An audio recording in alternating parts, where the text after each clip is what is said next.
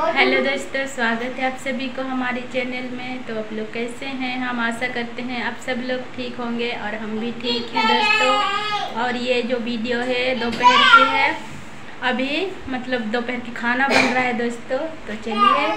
अभी हम सब्ज़ी बना रहे हैं। लोग हमारे वीडियो में बने रहे हैं शुरू से एंड तक।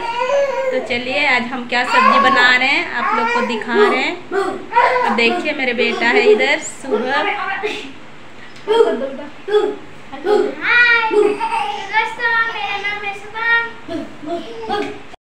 इधर देखिए सौरभ खेल रहा है किचन रूम में ही घूम रहा है खेल रहा है।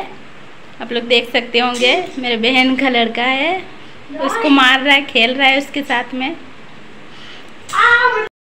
तो दोस्तों मैं सब्ज़ी बनाने जा रही हूँ और ये है कद्दू।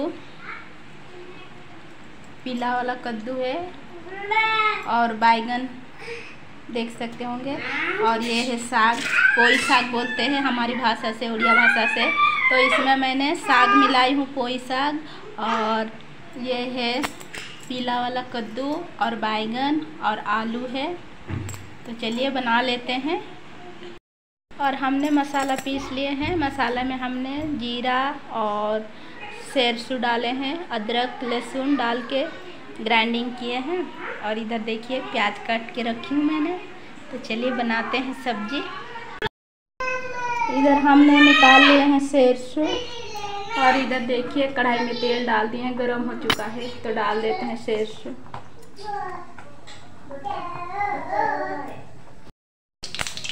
प्याज डाल देते हैं।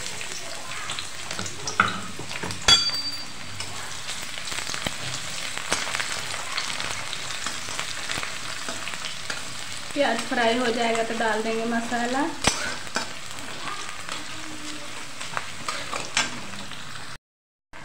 प्याज फ्राई हो चुका है, मसाला डाल देते हैं अभी।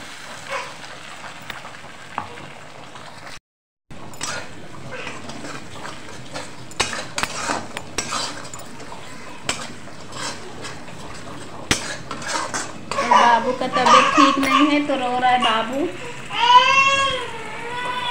देख सकते होंगे। उसको सर्दी, बुखार हो गया है। दवाखाना लेके गई थी। लेके आई दवा। बाबू को दवा खिलाई हूँ। तो अभी पहले खाना बना लेती हूँ। और बाबू को सुलाऊँगी खाना खिला के। सर्दी की वजह से बहुत तेज हो होंगे। अभी हम डाल दिए मिर्ची पाउडर और हल्दी पाउडर डाल दिए हैं। हमने अभी सब्ज़ी डाल दिए हैं।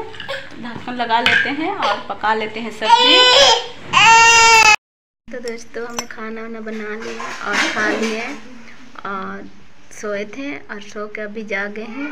तो आप लोग देख सकते होंगे मेरे दोनों बेटा बैठे हैं मेरे पास प्रियांश गोद में है और बारिश बहुत तेज हो रही है। खाना खाया? और बाबू का नाक में देखिए दोस्तों क्या निकल गया है साइड में। ये देखिए। पूरा मुँह में भी निकला था, इधर भी निकला था, पूरा चेहरा में निकल गया था बाबू का। दवा लगा के ज़रा कम हुआ, फिर भी निशाना सब है, देख सकते होंगे। है ना बाबू? देखिए कैसे बैठा है मेरा बेटा। तो दोस्तों, आप लोग को हमारी वीडियो कैसे लगा, ज़रूर कमेंट कीजिएगा। अच्छा लगा हो तो लाइक, सब्सक्राइब करना मत भूलिएगा।